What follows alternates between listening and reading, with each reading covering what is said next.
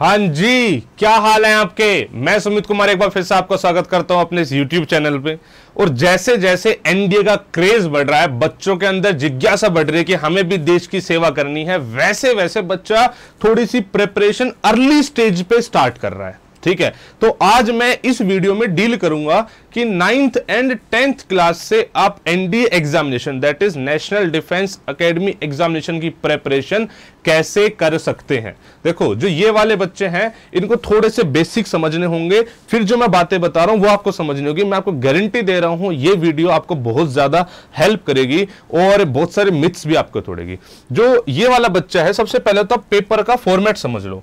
Paper के format में आता है बच्चे मैथमेटिक्स एंड दूसरा पेपर होता है GAT GAT stand for general ability test इस जीएटी के अंतर्गत मैं तीन पोर्शन में सेक्शन को डिवाइड कर सकता हूँ।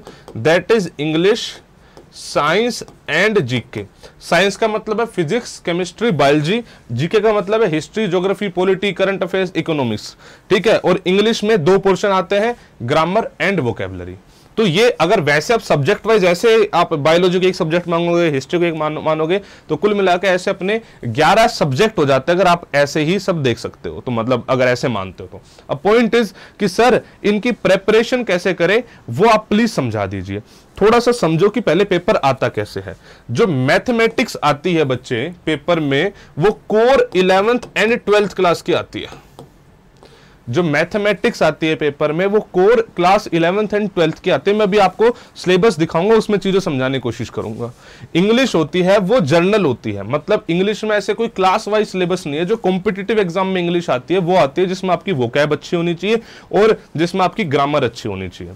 जो साइंस आती है इसमें साइंस आप ये मान लीजिए फिजिक्स केमिस्ट्री बायोलॉजी लगभग सिक्सटी आती है नाइन्थ टेंथ बेस्ड और बाकी आती है इलेवन ट्वेल्थ बेस्ड जो जीएस आती है जीएस की क्लास का कोई वो सिस्टम नहीं होता है वैसे तो लेकिन फिर भी आप यह मान सकते हो कि जो जीके है, वो मतलब ट्वेल्थ बेस्ड आती है जीके भी ठीक है, लेकिन होता क्या है कि जीके में आप स्टार्टिंग से पढ़ते तो आए और सिक्स टू टेन तक तो एक बेस आपका बन चुका होता है। तो सबसे पहले तो आपको ये बातें जाननी ज़रूरी है। अब कि सर, हम नाइन टेन से प्रेपरेशन कैसे कर सकते हैं? एक बार ना पहले सिलेबस दिखा देता हूँ मैं आपको। ये एनडीए की नोटिफिकेशन है। NDA two two zero two two की नोटिफिकेशन है। अगर इसके हम पेज नंबर 22 पे चले जाएँ पेज नंबर 22 पे चले जाएँ तो देखो ये सिलेबस आ जाता है। कहा गया? काट दे भाई, ये लो। और ऊपर ही आ जाता है सिलेबस सॉरी 22 से भी पहले आ जाता है। देखो देखो, ये एग्जामिनेशन की स्कीम है। सब कुछ नोटिफिकेशन वैसे दिया होता है। मैथमेटिक्स एग्ज़ाम होता है, फिर जनरल एबिलिटी टेस्ट होता है। टोटल 900 मार्क्स अब सिलेबस आ जाता है। सिलेबस सबसे पहले मैथमेटिक्स मैथमेटिक्स में एलजेब्रा एलजेब्रा में बहुत सारे टॉपिक्स फिर मैट्रिक्स एंड डिटर्मिनेंट फिर ट्रिग्नोमेट्री फिर टू डी थ्री डी फिर कैलकुलस फिर कैलकुलस के और portion vector algebra stats probability ये मैथ का सिलेबस है। अगर आप ध्यान से देखोगे तो आपकी जो इलेवन ट्वेल्थ की एनसीआरटी है एग्जैक्टली उसका सिलेबस होता है। वहीं पे आ जाओ, देखो इंग्लिश इंग्लिश में मैंने बताया सिंपल बेसिक अंडरस्टैंडिंग माँगता है आपकी। रीडिंग चेक होती है ग्रामर चेक होती है वोकैब चेक होती है। जीके की बात कर ले तो जी फिजिक्स का सिलेबस अगर आप इस टॉपिक को पढ़ोगे, आपने बहुत सारे टॉपिक नाइन टेंथ में पढ़े होंगे। फिजिक्स का सिलेबस आप पढ़ोगे तो। सेम केमिस्ट्री में पढ़ोगे तो नाइन टेंथ में बहुत सारे टॉपिक पढ़े होंगे। Same goals for general science and biology nine tenth में बहुत टॉपिक पढ़े होंगे। देन हिस्ट्री इसका थोड़ा सा जो सिलेबस है, अच्छे तरीके से दिया नहीं हुआ है हिस्ट्री का। ठीक है? ज्योग्राफी आपने चीज़ें नाइन टेंथ इलेवन ट्वेल्थ चारों किताबें देखने को मिलेगी। तो ये सबसे पहली बात तो ये सिलेबस है। अब सर प्रेपरेशन कैसे कर सकते हैं? अब उस पर थोड़ा सा ज्ञान दे दो हमें। देखो जी, ज्ञान ले लो पहले आप। आप जो बच्चा नाइन्थ और टेंथ में है, उसको ज़्यादा भावुक होने की ज़रूरत नहीं है। छोटे छोटे स्टेप लो, बहुत बड़ा अचीव करने के लिए छोटे छोटे स्टेप लेने पड़ते हैं। तो एक बात तो आपको क्लियर करनी है कि नाइन्थ और टेंथ की आपको हर एक सब्जेक्ट हर एक सब्जेक्ट से मेरा मतलब है मैथमेटिक्स, जीके एंड साइंस बहुत अच्छी तरीके से पढ़नी है। बहुत बच्चा बोलेगा, सर, मैं मैथमेटिक्स क्यों पढ़ूं? जब इलेवन ट्वेल्थ की आनी है। इलेवन ट्वेल्थ की मैथमेटिक्स इजी तब लगेगी जब आपका नाइन टेंथ का बेस बहुत ज़्यादा स्ट्रॉन्ग होगा। तो सबसे पहली चीज़, आपको क्या करनी है? मैथ्स में कुछ और नहीं करना इलेवन ट्वेल्थ पे फोकस नहीं करना, जब नाइन्थ और टेंथ में हो। तो टेंथ पास करने के बाद ही इलेवंथ की एनसीआरटी उठानी है मैथमेटिक्स की। कुछ नहीं करना, इस बेस को स्ट्रोंग कर लो। नाइन्थ एंड टेंथ की एनसीआरटी प्लस में एक लेवल ऊपर आर डी शर्मा तक। ठीक है? ये आप अच्छा कर लो, आप बेस बना लो बस अपना। ठीक है? कि आपका मैथ का बेस अच्छा हो दैट्स इट इलेवेंथ की किताबें आपको नहीं देखनी है, ज़्यादा भावुक होने की ज़रूरत नहीं क्लियर है? अब नेक्स्ट आ जाओ। नेक्स्ट है कि जी जीके में क्या करो?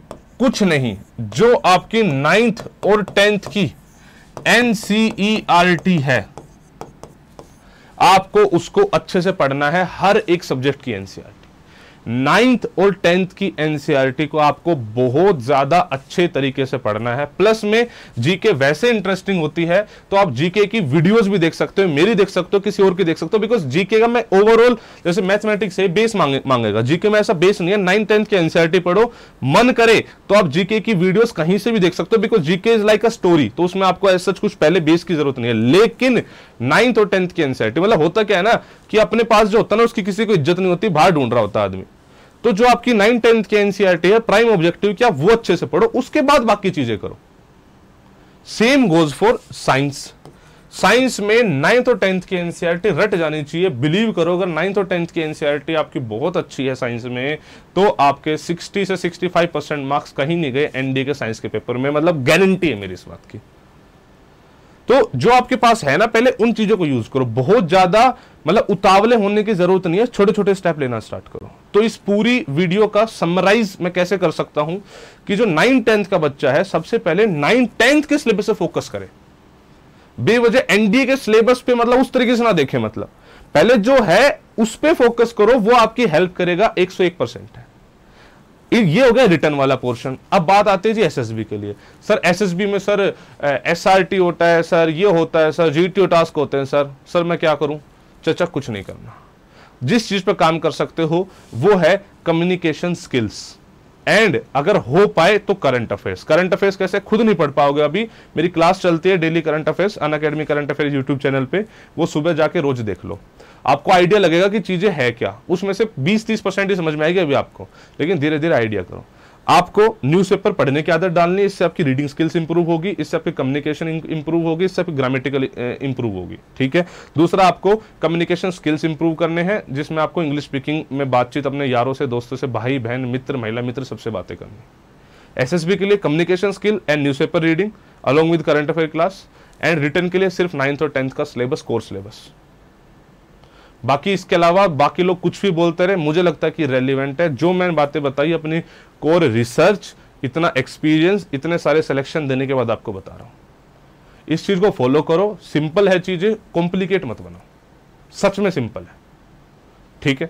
तो मैं उम्मीद करता हूँ कि मेरी इस वीडियो से आपकी एक स्ट्रेटेजी बनी होगी। इसी तरीके से आप धीरे धीरे धीरे चीज़ों को शुरू करो। इलेवन तक आते आते एक स्ट्रॉन्ग बेस बन चुका होगा। उसके बाद आपको मस्त पॉलिश करेंगे और आप पार हो जाओगे। ठीक है? चलो फिर, ये हो गया और बस इतना ही। मिलते हैं। अगर आपको वीडियो पसंद आई तो लाइक शेयर सब्सक्राइब ज़रूर करना। आपके सपोर्ट की हमेशा नीड रहती है। ऑलरेडी बहुत सपोर्ट करते हो आप लोग, उसके लिए थैंक यू सो मच बाकी जय हिंद, जय भारत।